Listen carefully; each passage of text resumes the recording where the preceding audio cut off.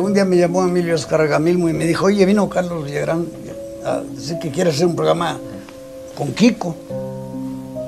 ¿Das tu autorización? Le dije, sí. ¿Qué, ¿Cuánto quieres cobrar por los derechos?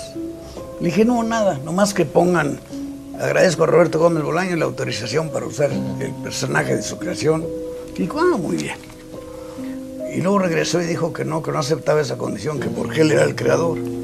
Entonces ya le pues, adiós, se fue.